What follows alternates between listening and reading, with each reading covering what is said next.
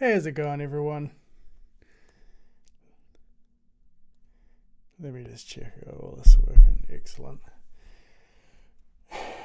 Today I'm going to be talking about rubyapi.org, which is an awesome website made by Colby Swandale. Uh, it's just fantastic documentation about Ruby and uh, it has a fantastic search engine and it's formatted so beautifully. it's just an awesome website. The problem is that um, it uses Elasticsearch and I've just hammered the site, which is why these results are a little bit off the off the uh, chart. But um, it has some uh, latency issues, uh, primarily due to Elasticsearch just being slow. And uh, honestly, I don't know a lot about all the technologies that are being used, but um,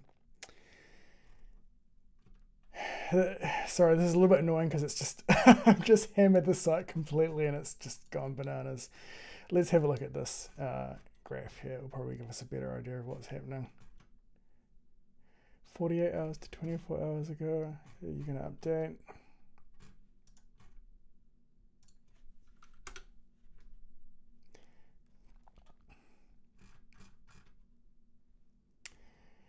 Well, I can't update that, but as you can see, the latency, if I just sit on top of one of those ones, 500 milliseconds, 600 milliseconds. And uh, there's been some PRs to try and fix this by adding caching and avoid memory allocations and much of other stuff in the Rails app, which is generating the content. Um, but one thing I added recently is uh, the ability to cache the pages. Uh, let's just have a quick look at that code.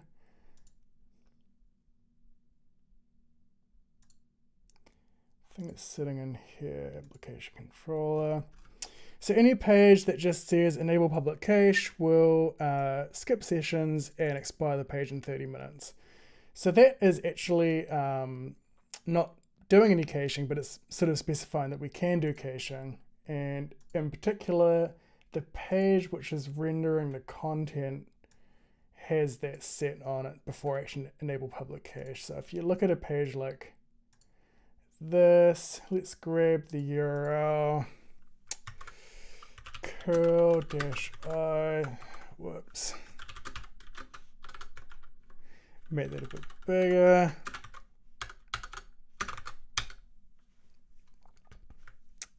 Maybe a little bit smaller.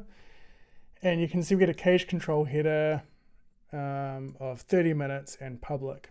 But obviously this is not being cached. There's no cache built into Rails for this purpose as far as I'm aware.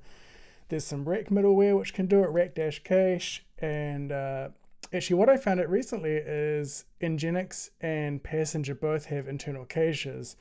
But the Passenger cache seems um, very specific to...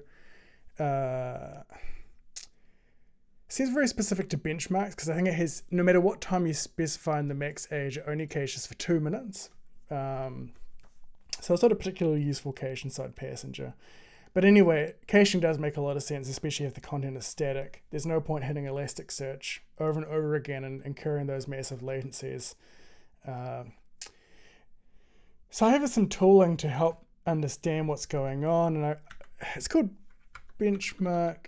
Let me just bring this up it's a gem called benchmark-http and there's a mode called spider. And what is it? Spider's a site, and it reports information about the timing of that spider. So if we run this against rubyapi.org, Twitter, okay. So what it's doing now is it's as quickly as possible hammering that site, and basically downloading everything it can. Um, so it basically connects to that first page, it parses the HTML, extracts all the links, and then just fans out um, as many connections as it uh, can reasonably make to pull in that content as fast as possible. And what's pretty fascinating about this is um, Benchmarks HTTP Spider is not particularly optimized in terms of minimizing what it will try and pull down. and so the fragment identifier is considered a separate page. Um, so what's interesting is this tool is actually, at least in this case, quite useful for analyzing the uh, behavior of a cache because it's pulling down the same page several times. Um, so if we jump over to Heroku, uh, let's just go back to two hours and see what's going on. I, I, just ran this earlier to see what would happen, and as you can see, it's just completely blowing up. it's pretty like funny. Um, not only did we uh, completely blow through uh, the memory, um, which I think seems like it's completely bombed out the server, or maybe that was uh, yeah I don't know what that is. Um, but yeah, so normally we're running at about five four hundred and sixty megabytes. This is running Falcon by the way and we managed to get up to 1.1 gigabytes, which is pretty epic. So um, obviously it's caching a bunch of stuff. Uh, and those caches are expanding and uh, the processes are just growing to fill all available space. Um, so what do we have? That was 1,100 requests, but only 18 requests per second, which is pretty slow. So what benchmark spider told us, it took 1.1 minutes to run, which is pretty quick, but what you might realize is here it took 8,100 samples. So you probably can't see that, I'll just bump that up there a little bit. Uh, and only like 800 of them returned 200 OK, and 5,294 were 503 errors, i.e. the server just like wasn't responding, it was exploding. Um, I don't even know what 420 is. Uh, standard deviation was 7.6 seconds. It's pretty bad. Uh, so anyway, like let's let's try and improve on this. And um, the way we're going to try and improve on this is by adding a layer of caching using Falcon. Uh, and I, honestly, I haven't even tried this before, so I don't know what it's going to be like in production. So it's kind of exciting for me uh, to try this out. So um, what I've got over here is I have a local instance of rubyapi.org and what I'm going to do just for interest is I'm going to run an instance of Falcon and I'm going to run an instance of Falcon. I'm going to run benchmark spider against that instance um, just to try and understand some baseline performance characteristics. So let's just try that. Uh, okay. and Falcon runs over HTTPS by default. And on this machine, obviously, uh, there are no memory limits, no CPU limits, so it will just um, consume as much as it needs. Which is like, uh, well, Slack is using 23 gigabytes, so, you know, that's okay. Actually, I, I lie. It's only 23 gigabytes of virtual memory. Um, where is Falcon? So it's sitting there. It's using about a gigabyte of memory one process. And it's one 1.2 gigabytes of virtual memory. It's only using 275 megabytes of actual uh, private memory. And it's basically just saturating one CPU core as you'd expect. I actually, I don't know how much um, internally is being cached. Uh, obviously, Rails has fragment caching and other forms of caching, but I actually don't know um, if that's, you know, t- to me, like local caches are a big problem in the sense that you will need to eventually restart this process because it will the cache unless you have a cache eviction strategy then the cache will just keep on growing and I guess I don't need to explain why that's a problem. Um, but anyway, let's see how the spider process is going.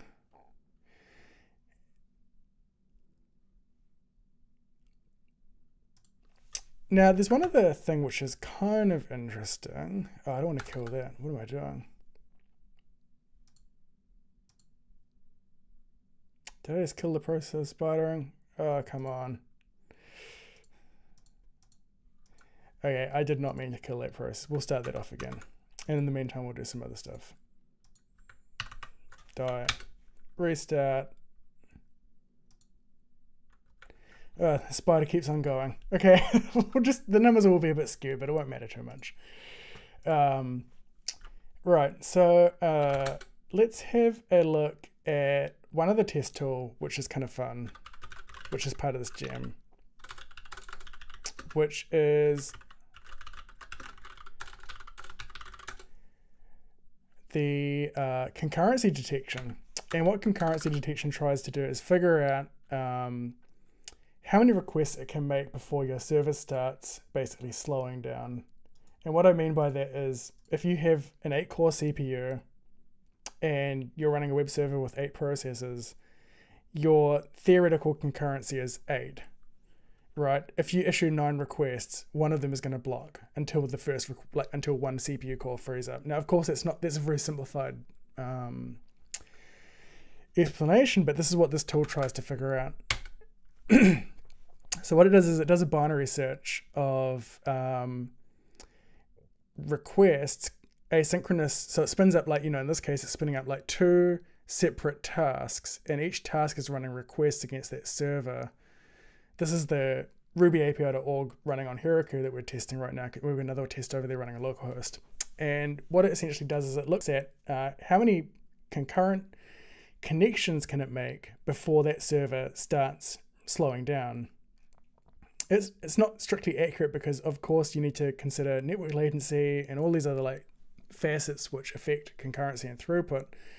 But it is quite a useful um, tool just to kind of understand the nature of how your server is impacted by the uh, increasing number of users. So let's have a look. So you can see it started off with like one task and it was 150, uh, sorry, 757 milliseconds. And we increased to two tasks, went to 762, four tasks, 770, eight tasks, 766. So it was increasing slightly and it will keep on going doing this binary search um, until it finds uh, the threshold is set to 1.2, which means it will accept up to a 20% slowdown. Now you can obviously tighten that if you want, um, but it's really just looking at uh, how the requests slow down up to 20% in this case as you increase the number of simultaneous users. So let's jump in, it's still running. I think that should finish soon.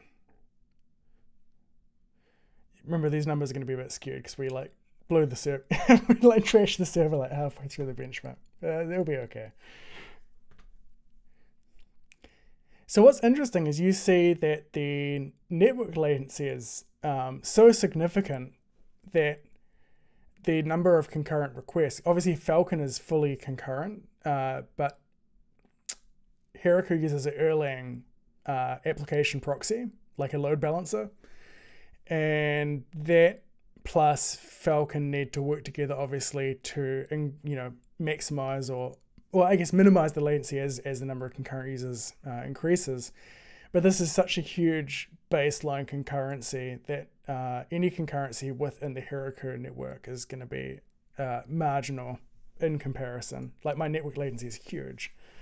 Um, but that, that's just part of it, you know, like when you're looking at these kinds of things, you're considering um, how the network latency plus the server latency, all of those are factors. Right, so let's have a look uh, over here. finished.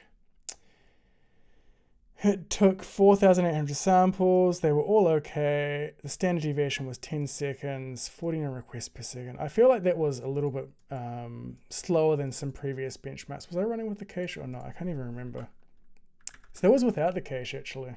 Okay, so 49 requests per second. So Falcon, uh, Falcon serves for development purposes, but you can enable the cache just by doing this. And the cache um, is implemented by async HTTP cache. It's middleware that sits inside async HTTP on the server side, or even the client side. You can use it in either place. And it just uses a memory store at the moment, although there's plans to um, implement a Redis uh, cache. And the benefit of using a Redis cache is that you can use uh, least recently used cache eviction, cache eviction provided by Redis, uh, which is really awesome. And you can share the cache between, you know, however many servers you have. Whereas where the in-memory cache is going to be obviously consuming memory on each individual process, which is you know, frankly, pretty stupid, I guess. Um, but you know, this was a quick and dirty hack to try and make something work, and uh, I'm happy with it for this purpose. So. uh, what have I done? PS. Uh, why can I not bind their port? Uh, okay, this one is still running. Just get rid of that. Spin up Falcon. So Falcon is running now with the cache. So I'm not so concerned with the number of samples benchmark spider takes because we obviously we trashed the server halfway through, which is a bit of a nightmare. Um, what I'm more concerned with is the request per second, which shouldn't be significantly affected by that, and also the standard deviation, which in this case is huge. Like 10 seconds is massive. It's bananas. So the critical thing is um, this cache is not hot. Uh, it is um, starting off cold. And so as we spider these, um, you'll see individual uh, pages that share the same URL. Obviously, the we hope that the fragment identifier is uh, not part of the cache key, as you know, I mean, you expect that, which is because I implemented. It. Hopefully, that's working. Um, and in essence, we're requesting the same page over and over again. So like if there's a cache, it, it, it should be kicking in and helping out.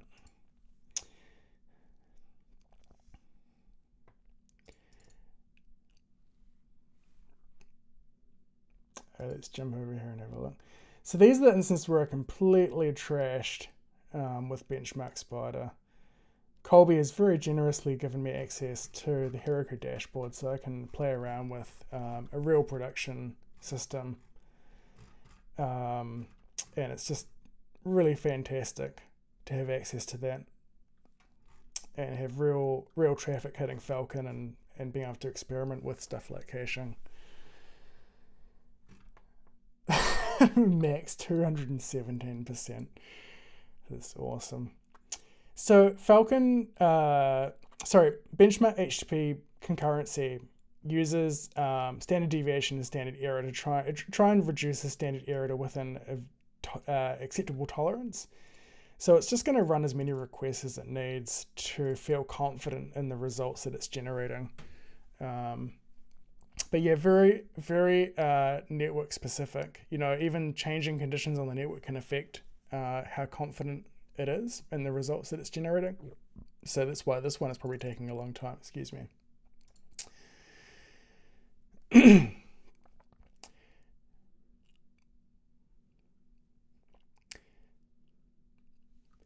one of the tricky things about HTTP caching, which I, I didn't really consider, is um, so obviously we have, uh,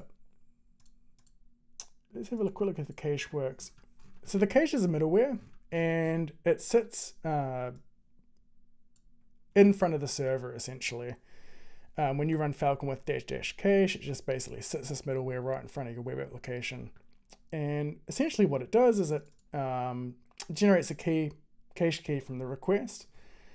So the cache key in this case is the host name, the method, and the path. And I didn't know anything about this, but um, there's actually a really great. I was looking at how Fastly implements their caches and what they're doing. They actually have this process of request normalization. And what request normalization is, is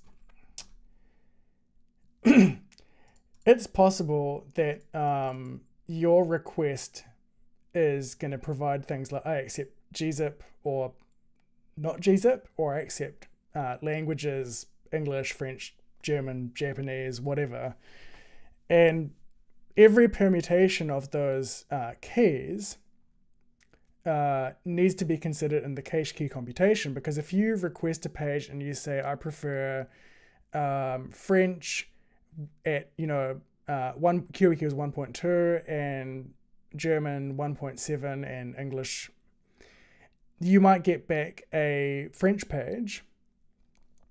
But if you um, if you change your priority, even if you change your priority like French 1.1, the server may choose something different. I mean, in theory, there's standard ways to resolve that, but um, if you make a request and you say, I accept the following languages, and you get a response back, and the cache is trying to figure out how do I cache this response? Here was the request, here was the response.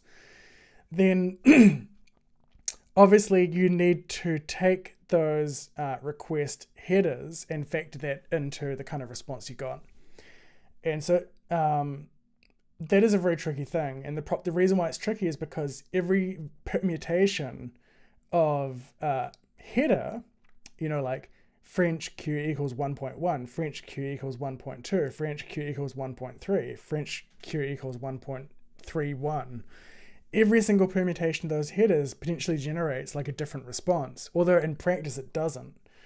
And so there's this process of normalization where you try and take those keys and you distill them down into the actual values that will determine the response content.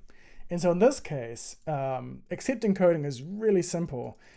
It turns out that lots of web browsers uh, provide a different organization or format of their accept encoding header, but it basically boils down to do you accept gzip or don't you?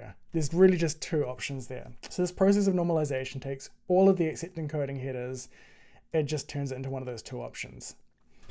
Um, it's that that means that you really only have two permutations to to consider. Uh, so that time we were a bit more successful and we had 80 requests per second and the standard deviation was 5.7 seconds. So it's a significant improvement. Uh, and I've seen it improve more than that. But you know, this is the real world. We're testing real sites and real, um, real scenarios. So like, I'm not too concerned if there's variability in there, but it, it is better. So what I want to do now is um, I'm sick of waiting for that to finish. okay, let's um, go in and update uh, the Heroku configuration to use the cache. Let's push it out and let's see if it actually makes any kind of improvement at all. Or maybe it just totally destroys the site, like who knows. it's exciting, right? I mean, anything could happen. Uh, where has my Atom code gone? I have some questions. Hello, thank you very much for your great work you're doing around Ruby ecosystem. I started using Bake, by the way, in one of my projects. I really like it, so much simpler than Rack. Awesome. yeah, I, I think Bake is um, kind of Rake has been around for so long and has kind of uh, it has a very like a lot of baggage, and so you know I, I don't really mind it. I think like Rake has a lot lot going for it, but it, it solves a lot of problems that people don't really care about anymore. And that's that's not a criticism. It's just like the nature of like changing requirements. So when I built Bake, I was just like, what problems do I want to solve? And like, what are the most important bits? And for me, it's just like running tasks and converting arguments. Um, and being able to do that quickly. Uh, so, you know, I, I feel like that makes a lot of sense. You mentioned in one of your tweets, if I want to write complex multi-thread code, Ruby is not the tool I reached for. Which language would you use for multi-threaded code? Oh, that's such a complicated question. uh, um, the worst possible answer I can give is I would reach for C++, just because um, the tooling for C++ is amazing. Uh, and in particular, the tooling around multi-threaded C++ is pretty damn good and stable. Um, so things like the address sanitizer, the undefined behavior sanitizer, uh, performance profilers, debuggers, they're all pretty like complicated to use, but they're really just solid tools and it just makes um, life so much easier. If you were asking me from a theoretical point of view, like what I would use, it would be. Um, there's so much fantastic research being done about how to build code which cannot be thread unsafe. So I don't know if Rust is strictly in this category, but um, what is it? Clojure? I've never used Clojure, but I've read about it with admiration because um, they basically uh, don't allow you to do unsafe operations in the language. So there are languages actually that, that try to solve those problems, and Ruby is not one of them. Um, and C++ is definitely not one of them, but it has the tooling to make it feas- feasible. Um, yeah, and I guess the other language I really, really like is Haskell because Haskell um, encodes in its semantics uh, the various models of computation regarding, like, you know, sequential operations and how those operations change state. And what I like about that is the type system of Haskell is powerful enough to uh, describe the nature of a function, not just like the inputs and the outputs, but the kind of computation that it does. And um, that can encode things like whether a function is, uh, I guess, you know, very, very simply, like, you know, not really going into detail, like whether that function is thread safe or not. Um, so there are a ton of stuff out there, and, and Ruby is just not a language that prov- provides the constructs uh, to protect people from those kinds of mistakes. So I, I don't know. Like I really like Ruby, um, but it's just not. Uh, it, it's great for. It, it's a really great language for just expressing your ideas, but it's not. Part of that is like when you go to Haskell and you want to express your ideas you run up into all the limitations and uh, limitations the wrong word, like all the um, the semantic modeling that Haskell imposes on your code is just so frustrating sometimes. And you want to write something and you can't write it. And so I just I really love with Ruby you can just literally like, uh, yeah, you know you can just throw your ideas down to a text editor and have that work. Um, anyway, what am I doing here? Good. Why am I on this branch?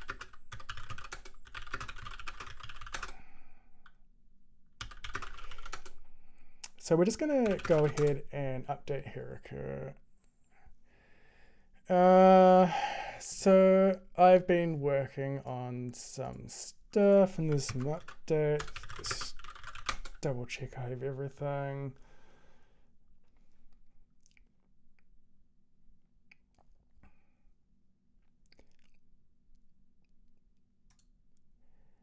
Bundle update, taking its sweet time. Maybe it could do with some improvements to concurrency. uh, great, so we will update the dependencies. And I'm not committing that file, I'm committing that file. And hopefully there's some CI because I'm not testing anything.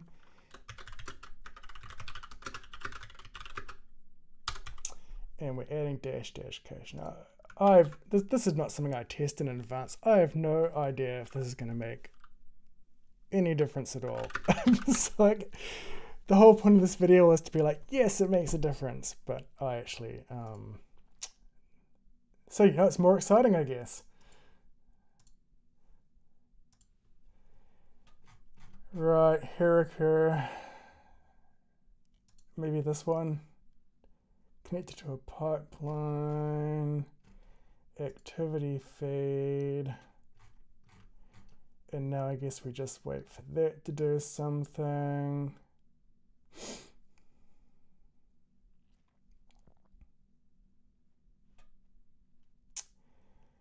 What do we do in the meantime? Is this thing over here finished? So it's probably never going to finish, um, probably because the tolerance is too high and the network is just too unreliable. So if it's making asynchronous requests and the network latency is jumping all over the place, it will not narrow down to a point where this tool is happy with the results. Um, like it will in theory eventually if you run it like for hours. Uh, but there are a couple of options which you can do to sorry can, it's kind of annoying having the lines wrapping but anyway. Let's try running it with a slightly lower confidence. Maybe 0 0.96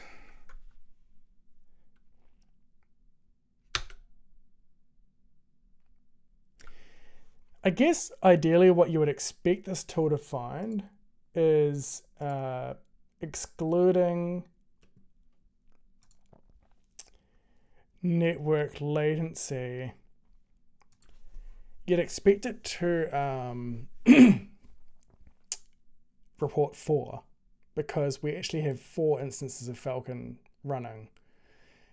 Now, Falcon itself internally uh, if you increase the number of requests from one to two, the latency will increase. If you have one instance of Falcon and you make one request to it, that request is going to take some specific amount of time.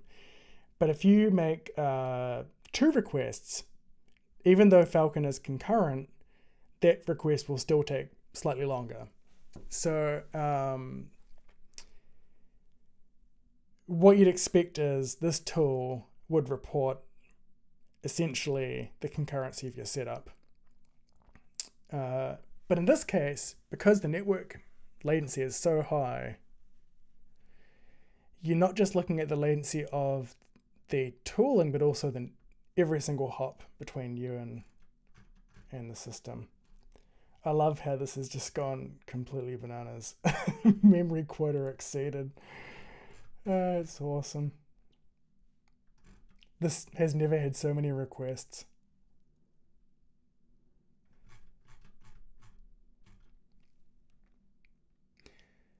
I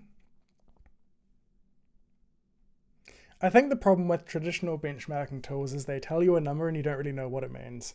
Um, request per second uh, doesn't tell you what's going to happen when you double your number of users.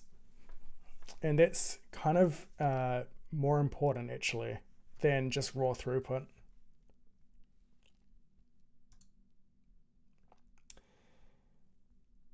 Did I push? Is it deploying? What's happening? GitHub connected.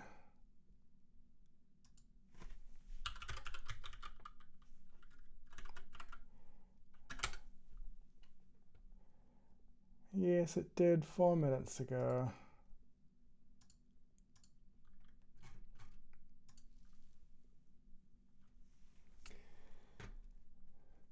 I think Heroku has done a really good job on their um, whole platform, but I'm not convinced their statistics are on point.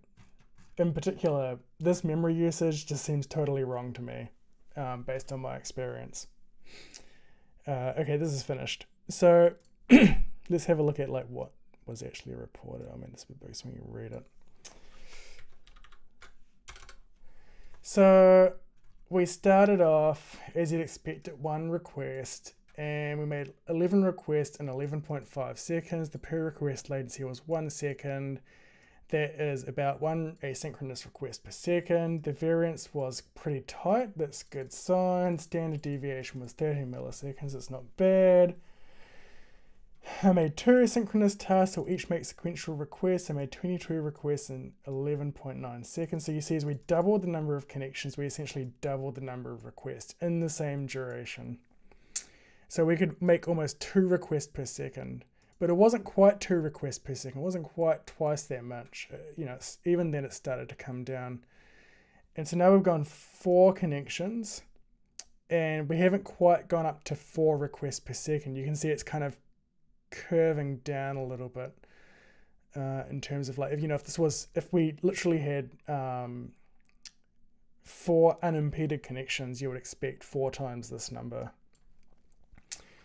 Eight connections. Uh, I made 88 requests in 12 seconds. The per request latency was 1.1 second, which is actually pretty huge, um, frankly speaking. That's 7.28 asynchronous requests per second. The variance is starting to increase. Standard deviation is starting to get pretty big. uh, 16 asynchronous tasks at 16 connections to Heroku made 176 requests in 13.4 seconds. The per request latency was 1.2 seconds. That's 13 asynchronous requests per second. So we got to 32, and so I made 352 requests in 15 seconds. So the per request latency went to 1.4 seconds, and the original latency was 1.0 seconds and the previous latency was 1.2 seconds, so it's 20% allowable. So this was okay. So it decided to go one more, level, you know, one more doubling is binary search, and uh, 1.4 seconds is beyond that 20% allowance. So what it's done is it's it's gone okay. Well, somewhere between 16 and 32. So now it's done 24, and it's found that it's 1.3. Now why has that gone up again?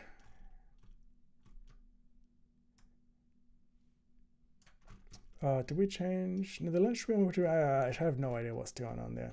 But anyway, let's come back to this one and have a look at what it reported. So I'm running, so I did a little binary search, got 2625. I made 275 requests in 14 seconds. The per request latency was 1.3.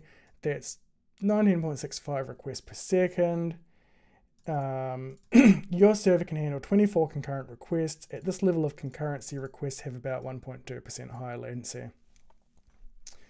So yeah, um, that is that is really the key point. Uh, so beyond 24 concurrent requests, your server, or in this case, a Ruby API.org, starts slowing down by more than 20% for all those individual connections.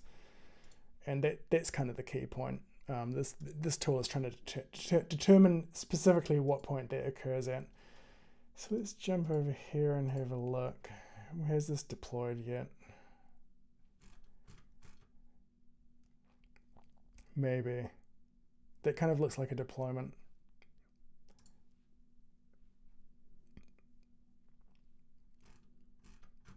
Okay, there we go. Right, so I guess the key is going to be whether that site starts to respond a bit better. Now, of course, async HTTP cache is using an in-memory cache, which means all four servers have their own in-memory cache. So we could probably blow the memory usage pretty quick if that cache is huge. I actually don't know. We're going to find out.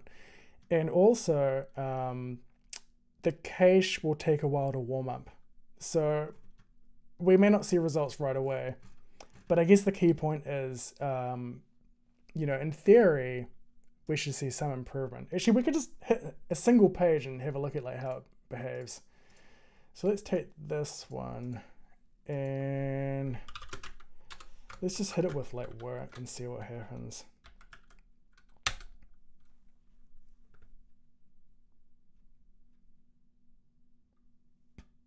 I mean, I should have done this before I enabled caching, but like at least we'll see if it's bad or not. Latency, average 639 milliseconds, standard deviation, max 1 point. It's pretty bad. Still, let's try it again, see if it improves or not. Might just be a while for the cache to warm up, or maybe it's just not working. Pro uh, you know, who knows. Seems a little bit better. 22 requests per second instead of 15.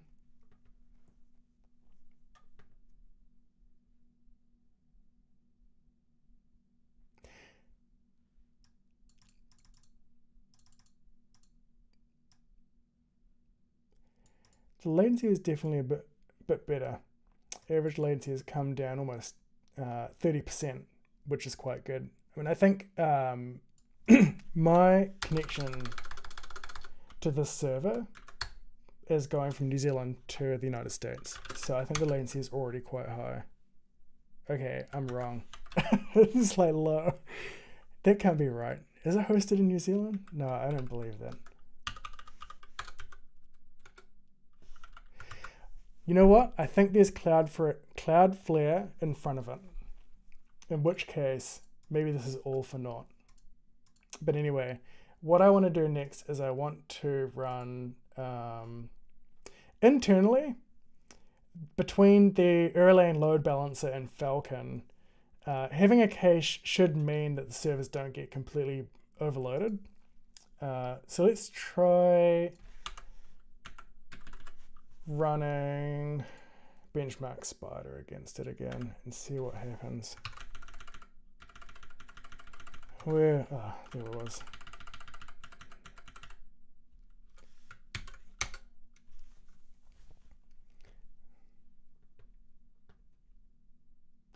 So I ran this before and I think it took like 10 minutes. Which is quite, you know, this what it took 10 minutes to run it against the production system on Heroku. Running it locally only takes a few minutes. But um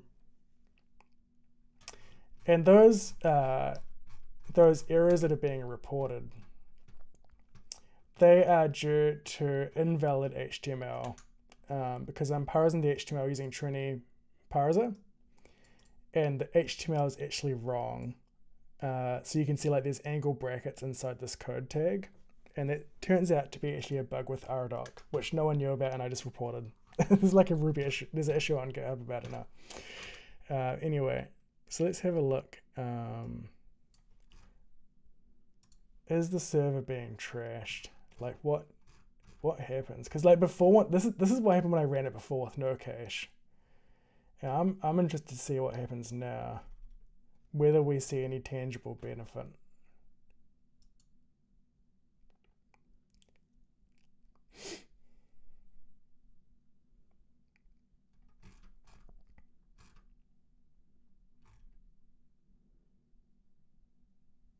So far, the if you look at like this one, we were handling like 20 requests per second, which is like horrendously slow in my opinion. And now we're managing 73 requests per second, which is not too bad. And I guess the red one here is like the danger zone. 290 requests per second were failing. And it looks like none of the requests are failing at the moment, uh, which is a pretty good sign. So what that means is the cache is um, relieving the server, the Rails app, of its internal performance issues. Uh, when you have a Rails app which is processing requests and Falcon is firing requests at it, ultimately, if that app is slow, the request will eventually fail. Uh, there are various reasons why that can happen. Um, I assume that like a typical example would be um, you are waiting for a database adapter and Rails has a default timeout of like five seconds. So if you have uh, all your database uh, connections are used up, then another request comes in, you're going to have problems if, the, you know, after five seconds, it will just time out and fail. But I, I'm liking this, like so far it looks pretty, pretty good. Like it looks like a pretty big improvement you know, went from handling like, you know, 15 or 20 requests per second, which is pretty junky, up to sort of like 70, 111 requests per second. Uh, let's have a look at what's going on here. 30 second response time, that's bad. I've actually seen that before. I wonder if that's actually a timeout in Elastic Cache. And the cache is obviously chewing through memory. But that's okay, I don't really care about that. Because we are hammering the server. It's kind of to be expected. Okay, we have a couple of failed requests. 192 requests have failed. What errors are being reported? Memory quota app crashed. Did it actually crash? Connection closed without response. Memory quota exceeded. Memory quota vastly exceeded. Vastly exceeded. that doesn't like cost extra money.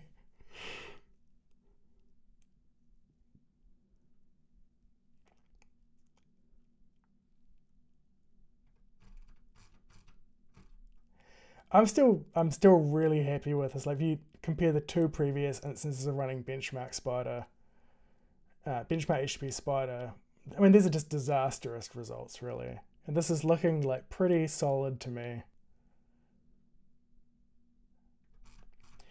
Um, so the key point will be like, I guess I'll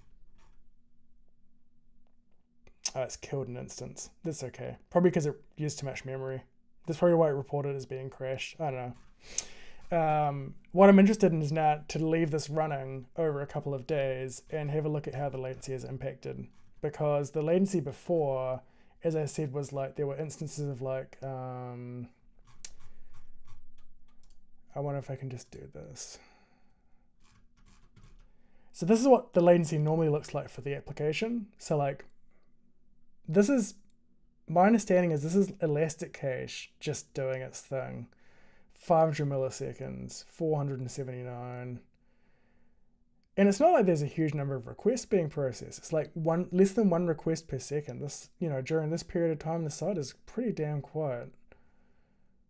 Um, so my my goal is uh, hopefully by enabling this cache, you know, all of those pages like stringers, I mean, probably enable the cache for like eight hours or something. You know, you probably set the timeout instead of 30 minutes, have it set to like eight hours so the stuff is just staying cached for ages.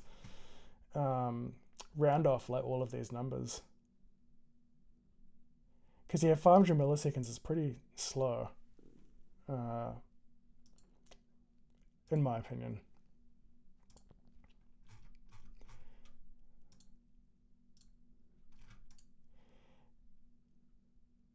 Comparison of array with array failed. Fantastic. this is like what I wanted. Oh well, I think that's where I leave you. Um, I think this will be an interesting experiment to see how this plays out. I'm really happy with those results. Um, you know, being the site's absolutely been hammered. Uh, 7.1 thousand requests in that one minute period. Oh, there we go. Something bad happened. I don't know what that means.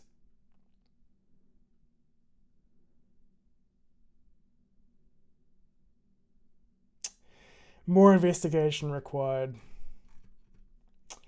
But anyway, I'm I'm happy. Like it seems to have helped, and for a version 0.1, it's uh, it's pretty decent. So we'll see how we go from there.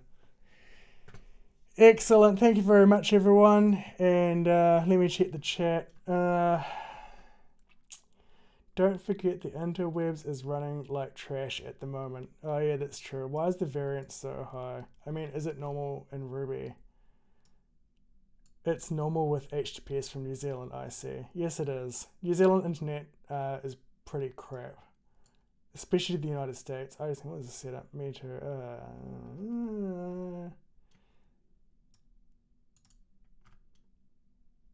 Excellent. Well, I'm glad you all enjoyed it, and it went on for longer than I imagined. Um, and I, will probably give an update, you know, uh, in a while and see what potentially happens. I mean, that looks bad to me. I don't know what happened there. Whether that's like a sign of a problem, uh, or whether um, something disastrous happened in Benchmark Spider. But like that part there looks fantastic to me. So, but that part looks bad. so yeah, well, there we go. It's, it's uh, pre production, in production, whatever. Excellent.